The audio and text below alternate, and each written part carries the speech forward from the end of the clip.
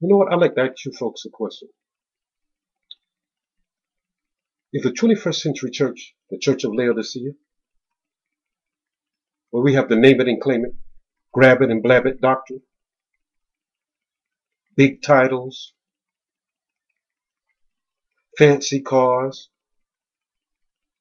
our bishops with apostles and, and pastors and ministers falling from grace with sexual misconduct.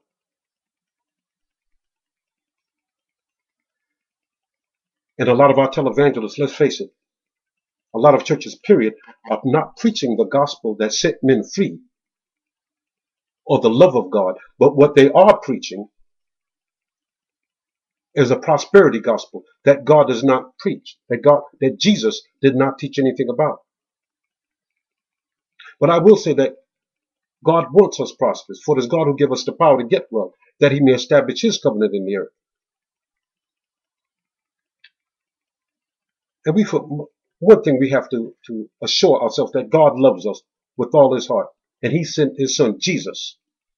For God, John 3.16 tells us that God so loved the world that he gave his only begotten son, that whomsoever believes shall not perish but shall have everlasting life. As we here in the 21st century listen to some of these elders and pastors and people in the church, and, and I hate to say it, especially our TV personnel, our TV preachers, time and time again, we see people that are walking away from the gospel. Where people are paying their, giving their light bill and gas bill. And in some cases, their mortgage notes. See, Jesus never said to do that. Uh, folks, let me tell you, that's not what the love of God is about. The gospel means good news. See, when Jesus went to Calvary, he loved you so much that he stretched out his arms and said, It is finished. Hmm. We are saved through Christ at Calvary by the grace of God. Grace through faith. God loves us.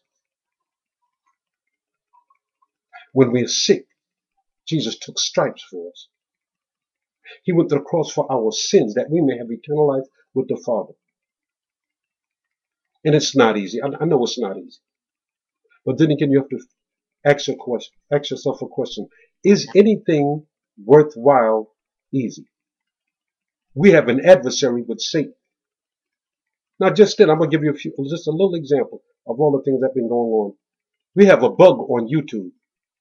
And just like that, all almost all my videos, all my videos were wiped out.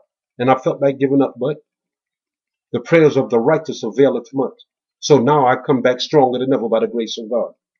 So what I'm telling you is to be encouraged. God ain't through with you yet. God loves you. Stay in the word and pray. And remember, the fruit, the tree that bears good fruit, that's what you watch out for. Anytime you have a pastor or anybody, I don't care what the title is, if they're teaching you anything that Jesus or the apostles didn't teach, you don't walk, you run. You verify what they're saying by the word of God. You open your Bible and read.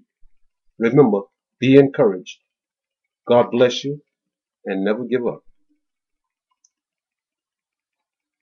Remember, be strong in the Lord.